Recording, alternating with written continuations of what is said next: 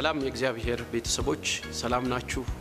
ክብር ለእግዚአብሔር ይሁን። ዘወትር እሁድ ከአራት ሰዓት ጀምሮ የሚተላለፈውን ፕሮግራማችንን ዛሬ አብረን እንቀጥላለን። አብረን የምንመለከተው የእግዚአብሔር ቃል እውነተኛ ሕይወት ወይም ደግሞ መልካም መንፈስ በሚለው ሀሳብ በዳንኤል ሕይወት ዙሪያ ጥቂት ነገር አብረን እንመለከታለን። አብረን የምንመለከተው ቃል ትንቢተ ዳንኤል ምዕራፍ አንድ ከቁጥር ስምንት ጀምሮ እኔ አነበዋለሁ። ዳንኤል በንጉሡ መብልና በሚጠጣው ጠጅ እንዳይረክስ በልቡ አሰበ። እንዳይረክስም የጀንደረቦቹን አለቃ ለመነ። እግዚአብሔርም በጀንደረቦቹ ፊት ለዳንኤል ሞገስና ምሕረት ሰጠው ይላል። ትንቢተ ዳንኤል በጣም focus አድርጎ በጣም focus አድርጎ የሚያወራው የሚናገረው ስለ እግዚአብሔር ሉዓላዊነት ነው። ስለ እግዚአብሔር የበላይነት ነው። በነገስታቶች ላይ፣ በአለቆች ላይ፣ በመናፍስቶች ላይ እንደገና በመናፍስት ጠሪዎች ላይ እግዚአብሔር ምን አይነት ሉዓላዊ አምላክ እንደሆነ ነው የምንመለከተው። ይሄ ህይወት ግን የተገለጠው ትክክለኛና እውነተኛ አቋም ባላቸው ሰዎች እንደሆነም ደግሞ ተጨማሪ አብረን እንመለከታለን። በተጓዳኝ አብረን እንመለከታለን። ስለዚህ ዳንኤልን በዚህ ስንመለከት ስለ እውነተኛ ህይወት ማንነት ትንሽ ትርጉም ትርጉሙን አብረን እናያለን። አንደኛ በማንኛውም ህይወት ውስጥ አንድ አይነት ማንነት ያለው ማለት ነው። እውነተኛ ህይወት በማንኛውም ህይወት በማንኛውም ነገር ውስጥ አንድ አይነት አንድ አይነት አቋም፣ አንድ አይነት አስተሳሰብ፣ አንድ አይነት አካሄድ፣ አንድ አይነት ምልልስ ያለው ሰው ማለት ነው። እውነተኛ ህይወት አንድን ሰው ለማወቅ አንድን ሰው ለመገምገም ህይወቱን ከአካሄዱ፣ ከንግግሩ፣ ከምልልሱ ማየት እንችላለን። ምልልሱ ምን ይመስላል፣ አካሄዱ ምን ይመስላል የሚለውን ነገር አብረን ልንመለከት እንችላለን እና ዳንኤልን ስናይ እንደዚህ አይነት ስብዕና የነበረው ሰው ነው። አንድ አይነት ስብዕና የነበረው ሰው ነው። ይሄ እውነተኛ ህይወት በሁለት አይነት ገጽታ ወይም double face የማይመላለስ ማለት ነው። አንድ አይነት ህይወት ያለው አንድ አይነት ገጽታ ያለው double face ያልሆነ በዛ አይነት አካሄድ የማይመላለስ ሰው ማለት ነው። በዓለም ላይ አስቸጋሪ ሰዎች የቆሙበትን ቦታ ለመምሰል የሚሞክሩና የሚጥሩ ሰዎች ናቸው። አደገኛ ሰዎች እንደዚህ አይነት ሰዎች ናቸው። በዓለም ላይ የቆሙበት ቦታ የደረሱበት ቦታ ለመምሰል ከፍተኛ ጥረት የሚያደርጉ ሰዎች ትክክለኛ አቋማቸውን ይዘው ለሰው ማሳየት አይችሉም። በመንፈሳዊ ዓለምም እንደዚህ አይነት ሰዎች አስቸጋሪ ሰዎች ናቸው። ከባድ ሰዎች ናቸው ሁለት አይነት መጽሐፍ ቅዱስ እንደዚህ ይላል፣ ሁለት ሀሳብ ላለው በመንገዱም ለሚውላው ለዚያ ሰው ከጌታ ዘንድ አንዳች እንዲያገኝ አይምሰለው። ሁለት አይነት ሀሳብ ያለው ክርስቲያን ሆኖ ክርስትናውንና ሌላውን ነገር አብሮ ይዞ የሚሄድ ክርስትናውን የማይመስል ክርስትናውን የማይደግፍ ክርስትናውን ይዞት ከፍ አድርጎ የማያሳይን ነገር ይዞ ለመሄድ የሚሞክር ሰው የእግዚአብሔር ወዳጅ መሆን አይችልም። ስለዚህ ወሳኝ እውነተኛ ሕይወት ያለው ሰው ወሳኝ ሰው ነው ማለት ነው። ዳንኤል ከልጅነቱ እስከ ፍጻሜው ድረስ በእውነተኛ ሕይወት አገልግሎቱን የጨረሰ ሰው ነው።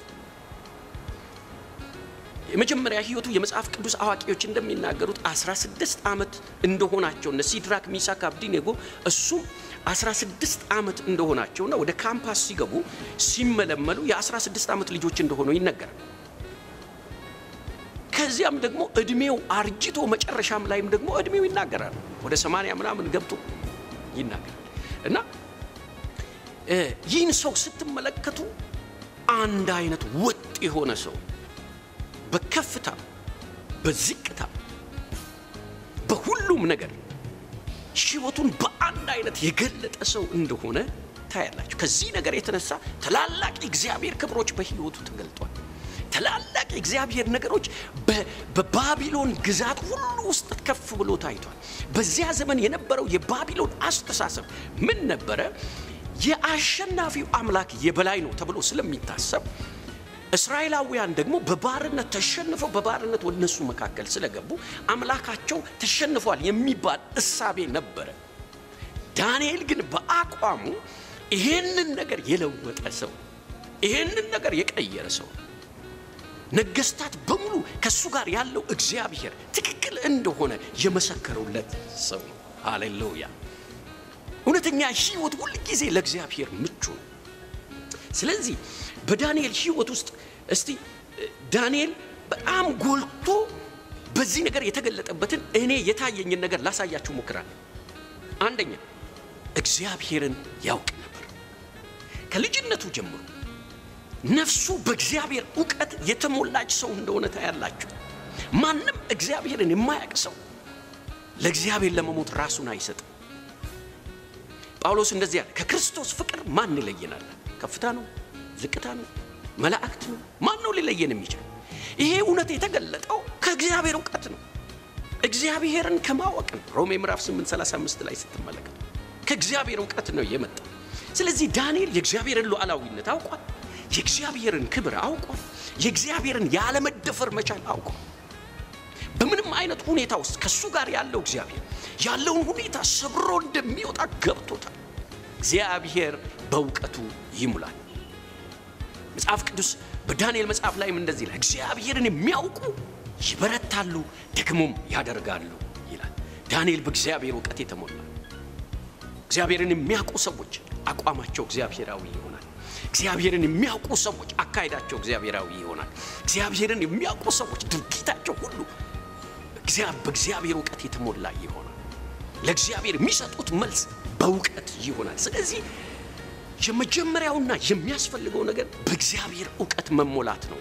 በምንም አይነት ሁኔታ ውስጥ ጳውሎስን ይናገራል። ሞትም ቢሆን ለእኔ ጥቅሜ ነዋል። እግዚአብሔርን ስላወቀ ነው። የእግዚአብሔር እውቀት ለሰው አስፈላጊ ነው። እግዚአብሔርን የሚያውቅ ሰው ለሌላ መሆን አይችልም። እንደ ሌላ ማድረግ አይችልም። እንደ ሌላ መመላለስ አይችልም። ዳንኤል ትልቁ መነሻው ከልጅነቱ እስከ መጨረሻው ድረስ በእግዚአብሔር እውቀት ነፍሱ የተጠመደች ነበረ። እግዚአብሔር ዛሬ በእውቀት ይሙላል። ወገኖቼ እግዚአብሔርን ማወቅ ትልቅ ነገር ነው። እግዚአብሔርን የሚያውቁ ሰዎች ለሌላ ነገር ራሳቸውን መስጠት አይችሉም።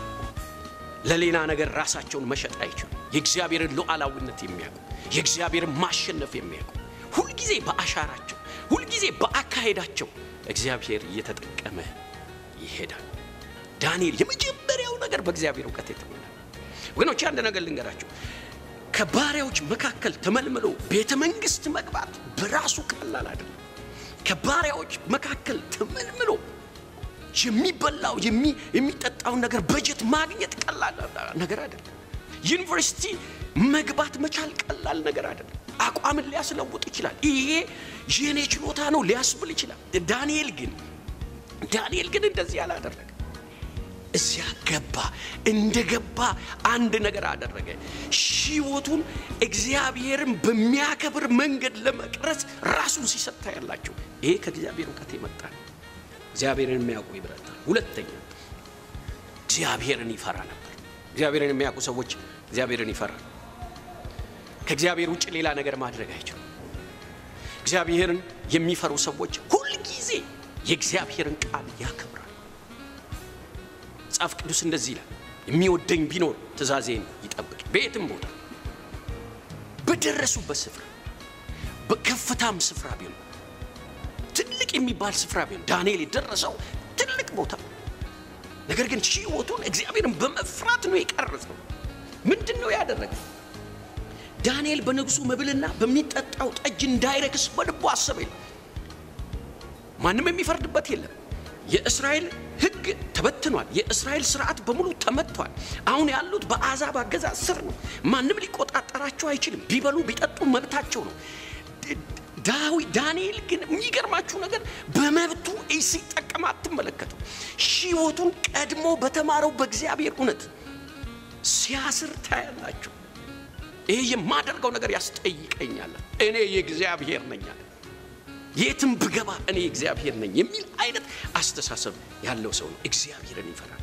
ምዕራፍ አንድ ምዕራፍ አንድ ስምንት ላይ አይተናል። ስድስት አንድ ላይ ስትመለከቱ አንድ ነገር ታገኛላችሁ። ስድስት አንድ ላይ እንዲህ ይላል፣ ዳርዮስ በመንግስቱ ሁሉ ዘንድ እንዲሁ 127 መሳፍንት በመንግስቱ ላይ ይሾም ዘንድ ወደደ። መሳፍንቱም ሀሳቡን ያመጡላቸው ዘንድ ንጉሱም እንዳይጎዳ ሶስት አለቆች በላያቸው አደረገ። ከእነርሱም አንደኛው ዳንኤል ነበር። ዳንኤልም መልካም መንፈስ ስላለ ከአለቆችና ከመሳፍንት በለጠ። ንጉሡም በመንግስቱ ሁሉ ላይ ይሾመው ዘንድ አሰበ። የዚያን ጊዜ አለቆችና መሳፍንቱ ስለ መንግስቱ በዳንኤል ላይ ሰበብ ይፈልጉ ነበር። ነገር ግን የታመነ ነበርና ስህተትና በደል አልተገኘበትም። በእርሱ ላይ ሰበብና በደል ያገኙበት ዘንድ አልቻሉም። እነዚያ ሰዎች ከአምላኩ ከእግዚአብሔር ሕግ በቀር በዚህ በዳንኤል ላይ ሌላ ሰበብ አይገኝበትም አሉ ይላል። ሃሌሉያ! ከአምላኩ ሕግ በቀር ሰበብ ሊገኝበት አይችልም። ስለዚህ ሰበብ እንፈልግበታለን። ዝቅ ብላችሁ እያነበባችሁ ስትሄዱ ማንም ሰው ወደ አምላኩ እንዳይጸልይ የሚል አዋጅ ወጣ ይላል። ከንጉሥ ነው የወጣው። ዳንኤል ግን ይሄ አይመለከተኝም ማለት እግዚአብሔር ከንጉሥ ሕግ በላይ ነው፣ እግዚአብሔር ከንጉሱ በላይ ነው የሚል አስተሳሰብ ይዞ ሲነሳ ታያላችሁ። መስኮቶቹን በአራቱ ማዕዘን ከፈተ፣ መጸለይ ጀመረ ይላል። ወደ ምስራቅም ዞረ፣ መጸለይ ጀመረ ይላል። ሃሌሉያ! እግዚአብሔርን ይፈራ ነበር። ከሰው ሕግ ይልቅ፣ ከሰው አካሄድ ይልቅ፣ ከማህበረሰቡ ሕግ ይልቅ፣ ከህብረተሰቡ ሕግ ይልቅ እግዚአብሔርን የሚያስቀድም ሰው ነበረ። እግዚአብሔርን የሚፈራ ሰው ነበረ። ክብር ለእግዚአብሔር ይሁን። መጽሐፍ ቅዱስ እንደዚህ ይላል። ንድ የሆነ ጥርት ያለ የእግዚአብሔር እውነቶች የተሰሩባቸውን ሰዎች ሄዳችሁ ስትመለከቱ በእግዚአብሔር ፍርሃት ህይወታቸውን ያጠመዱ ናቸው። ዘፍጥረት 6 9 ላይ ኖህን ትመለከታላችሁ። አካሄዱን ከእግዚአብሔር ጋር አደረገ ይላል። ጠማማ ትውልድ በበዛበት እንደፈለገ የሚኖር ትውልድ በበዛበት የፈለገውን የሚበላ የፈለገውን የሚጠጣ እንደፈለገ የሚኖር ትውልድ በበዛበት መካከል ግን እሱ አካሄዱን እንደ እግዚአብሔር ቃል አደረገ እግዚአብሔር ታላቅ ታሪክ በሱ ሰራ። የሰውን ታሪክ እንደገና በሱ አደሰ። ወገኖች አንድ ነገር ልንገራቸው፣ እግዚአብሔርን መፍራት የህይወት መጀመሪያ ነው። እግዚአብሔርን መፍራት ትልቅ ነገር ክብር ለእግዚአብሔር ይሁን። ኖህ ለሰው ልጅ በምድር ላይ ሰርቫይቭ የማድረግ ምክንያት ሆነ። ለሰው ልጅ መኖር ምክንያት ሆነ። ለእግዚአብሔር ፕሮግራም መቀጠል ምክንያት ሆነ። እግዚአብሔርን በህይወታቸው ውስጥ ማዕከል አድርገው የሚሄዱ ሰዎች እግዚአብሔርን ይፈራሉ። ይሄ ትውልድ ይሄ ዘመን የሚሰርቀን አንድ ትልቅ ነገር ቢኖር እግዚአብሔርን መፍራት። እግዚአብሔርን የሚፈሩ የእግዚአብሔርን ትልቅ ታሪክ ሰርተው ያልፋሉ። ሶስተኛው የዳንኤል ኳሊቲ የአቋም ሰው ነበር። በአቋም ነው የሚመላለሱ። ብዙ ሰው ችግሩ ምንድን ነው? አቋሙ አቋሙ እግዚአብሔራዊ ያየው። ምናልባት ለራሱ ጥቅም የራሱ አቋም ሊኖረው ይችላል። ለእግዚአብሔር ክብር ግን አቋሙ የሌላላ ብዙ ህዝብ ነው ያለው። ጳውሎስን ስትመለከቱ የአቋም ሰው ነበር። መጽሐፍ ቅዱስ ላይ ስታያቸው እነ አብርሃምን ስትመለከቱ የአቋም ሰዎች ነበሩ። እነ ኖህን ስትመለከቱ የአቋም ሰዎች ናቸው። በዚህ ሰው ህይወት ውስጥ የምታዩት የአቋም ሰው አቋም የሌለው ሰው አቋሙ እግዚአብሔራዊ ያልሆነ ሰው እግዚአብሔርን ማገልገል አይችልም። ስለዚህ ምንድን ነው የሆነው ታዲያ? ዳንኤል በዳንኤል ህይወት ውስጥ አንደኛ የእግዚአብሔር ክብር ከፍ ከፍ ከፍ አለ። እግዚአብሔርን በባዕድ ምድር ውስጥ ከፍ አደረገ። የእግዚአብሔር የእስራኤል አምላክ ታላቅ እንደሆነ ነገስታት ሁሉ እስኪያውቁ ድረስ፣ ህዝብ ሁሉ እስኪያውቅ ድረስ፣ ተቃዋሚዎቹ እስኪያውቁ ድረስ የእግዚአብሔርን ስም ይዞ ወጣ። የእግዚአብሔርን ክብር ይዞ ወጣ። ሃሌሉያ ወገኖቼ፣ ዛሬ እግዚአብሔር እንደዚህ ሰው ያደርገን። ህይወታችን እሱን ደስ የሚያሰኝ ህይወት ይሆናል። ተመልከት፣ ያ ብቻ አይደለም፣ የእግዚአብሔርን ሉዓላዊነት አሳየ። እግዚአብሔር በምንም አይነት ሁኔታ ውስጥ በምንም አይነት ነገር ውስጥ ኃይሉ ውስን እንዳልሆነ፣ ክብሩ ውስን እንዳልሆነ፣ ማዳኑ ውስን እንዳልሆነ አሳየ። በእሳት ውስጥ አሳየ። በአንበሳ ጉድጓድ ውስጥ አሳየ። በቤተ መንግስት ኑሮ ውስጥ አሳየ። እግዚአብሔርን ማንም ሊያሸንፈው እንደማይችል የእስራኤልን አምላክ ማንም ሊያሸንፈው እንደማይችል የእስራኤል አምላክ የሁሉ የበላይ እንደሆነ አሳየ። ሃሌሉያ! እውነተኛ ህይወት ያላቸው ሰዎች ሁል ጊዜ እግዚአብሔርን እየገለጡ ይሄዳል። እግዚአብሔርን እያሳዩ ይሄዳል። ማየት የሚገባቸው ሁሉ እግዚአብሔርን ያያሉ። ዳንኤል ለራሱ የሚኖር ሰው አልነበረም፣ የአቋም ሰው ነበር። ዛሬ አንድ ነገር ልንገራቸው። ስለዚህ ህይወታችን ምን ምን ይሁን? ሁልጊዜ ህይወታችን በእግዚአብሔር እውቀት የተሞላ ይሁን። አንድ ነገር ልንገራቸው፣ እግዚአብሔርን የማያውቅ ሰው ነፍሱ በእግዚአብሔር እውቀት ያልተሞላች ሰው ሁልጊዜ ባከና ነው የሚሆን። የሚሰራው ነገር አይታወቅም፣ የሚያደርገውን ነገር አያውቅም። ዛሬ ብዙ በጥባጮች ከእግዚአብሔር እውቀት የራቁ ሰዎች ነው። ቸርች ይመጣሉ፣ የእግዚአብሔር እውቀት ግን የላቸው። ይሰብካሉ፣ የእግዚአብሔር እውቀት የላቸው። እግዚአብሔርን የሚያውቅ ሰው ሊሰርቅ አይችልም፣ ሊዋሻ አይችልም፣ ሊያጭበረብር አይችልም። እግዚአብሔርን የሚያውቅ ሰው ከእግዚአብሔር አስተሳሰብ ውጪ ሊኖር አይችልም። ዛሬ ግን በዓለማችን ላይ ስንመለከት ነቢይ ሆኖ ሌባ አለ፣ ሐዋርያ ሆኖ አጭበርባሪ አለ። ያ እግዚአብሔርን የማወቅ ምልክት ሳይሆን ያለማወቅ ምልክት። ዳንኤል ግን ሁልጊዜ ማዕከል አድርጎ የሚንቀሳቀሰው እግዚአብሔርን ነው። ለምን? ነፍሱ በእግዚአብሔር እውቀት ስለተሞላች። እግዚአብሔር ሉዓላዊ ነው። ከምንም ነገር እግዚአብሔር ማውጣት እንደሚችል፣ ከምንም ነገር እግዚአብሔር ማዳን እንደሚችል ስለገባው ሁለተኛ ምን ማድረግ አለብን? እግዚአብሔርን መፍራት አለብን። ህይወታችን በፍርሃ እግዚአብሔር ሊሞላ ይገባል። አንድ ነገር ልንገራቸው፣ ዓለም ለጥቂት ጊዜ ነው የምንኖርባት። ዓለምን ለማትረፍ የምንሮጥ የምናደርጋቸው ሩጫዎች በራሳቸው ጥሩ ቢሆንም እግዚአብሔርን ከመፍራት ውጪ በሚሆኑበት ጊዜ ግን አደጋ ውስጥ ነው የሚከተው። እግዚአብሔርን ነው የሚያሳጠው። የእግዚአብሔርን ክብር ነው የሚያሳጠው። ስለዚህ እግዚአብሔርን መፍራት መለማመድ አለብን። እግዚአብሔርን መፍራት በህይወታችን ውስጥ ታላቅ ማድረግ አለብን። ለዚህ ነው ዳንኤል ያን ሁሉ ትውልድ አሸንፎ ያለ። ሶስተኛ የአቋም ሰዎች መሆን አለብን። አቋማችን ምን መሆን አለበት? መንፈሳዊ መሆን አቋማችን እግዚአብሔራዊ መሆን አለበት። አቋማችን መጽሐፍ ቅዱሳዊ መሆን መቻል አለበት። ጉራማይሌ መሆን የለበትም። እዛ ስንሄድ ሌላ እዚህ ስንሆን ሌላ መሆን የለብንም። መልካችን በየትም በቤተ መንግስት አንድ አይነት መሆን አለበት። ተራ ሰፈር ውስጥ አንድ አይነት መሆን አለበት። በሻይ ቤት ውስጥ አንድ አይነት መሆን አለበት። ዳንኤል በዚህ ነው ያን ሁሉ ታሪክ የሰራው። እስከ መጨረሻ ድረስ ተወዳጅ ሆኖ ተፈላጊ ሆኖ የኖረው እነዚህ ነገሮች በህይወቱ ስለታዩ እግዚአብሔር እውነተኛ ህይወት ይስጠን። እንጸልያለን። እግዚአብሔር አምላካችን ሆይ በጌታ በኢየሱስ ስም እናመሰግንሃለን። ክብር ሁሉ ለዘላለም ላንተ ይሁን። በልጅ በኢየሱስ ክርስቶስ ስም ወደ ዘላለማዊ መንግስትና ወደ ዘላለማዊ እውቀት ስለጠራህን፣ ዘላለማዊ ፍቃድህን ስላሳየን እግዚአብሔር ሆይ ባንተ ውስጥ ያለው ቸርነትና በጎነት ጸጋ እንድንቀምስና እንድናጣጣም እንድናጣጥም ስላደረግን የሰራዊት ጌታ ቅዱስ እግዚአብሔር ሆይ በኢየሱስ ክርስቶስ ስም እናመሰግናለን። የእስራኤል ቅዱስ ልዑል እግዚአብሔር ሆይ ሕይወታችን ሁልጊዜ ወጥ የሆነ እግዚአብሔር ሆይ መጽሐፍ ቅዱሳዊ የሆነ እንዲሆን በኢየሱስ ክርስቶስ ስም እኔ ጸልያለሁ። ሕዝብህን በዚህ እውነት እንድትባርክ እግዚአብሔር ቤተ ክርስቲያንን በዚህ እውነት እንድትባርክ፣ አገልጋዮችን በዚህ እውነት እንድትባርክ፣ ምድራችንን በዚህ እውነት እንድትባርክ በኢየሱስ ስም ጸልያለሁ። ጌታ እግዚአብሔር ሆይ በናዝሬቱ ጌታ በኢየሱስ ስም ጸልያለሁ። ምድራችንን በጌታ በኢየሱስ ስም ለእጅ አሳልፌ ይሰጣል። ፖለቲከኞችን፣ ሀገር የሚያስተዳድሩትን እግዚአብሔር ወይ ህዝባችን ብሔር ብሔረሰቦችን ሁሉ ለታመነው እጅ ያደራ አሳልፌ ይሰጣል። አንተን መፍራት በእነሱ ላይ እንዲወድቅ ሰው ሁሉ አንተን በመፍራት እንዲመላለስ ያንተ ክብር ምድርን እንዲሸፍን ያንተ ክብር ዓለምን እንዲሸፍን በኢየሱስ ክርስቶስ ስም እኔ እግዚአብሔር ሆይ በምድሪቱ ላይ እግዚአብሔር አምላካችን ሆይ የሚነሳ የጠላት ሀሳብ ሁሉ በጌታ በኢየሱስ ክርስቶስ ስም የወደቀ ይሁን። ስራው የፈረሰ ይሁን። እቅዱ የፈረሰ ይሁን።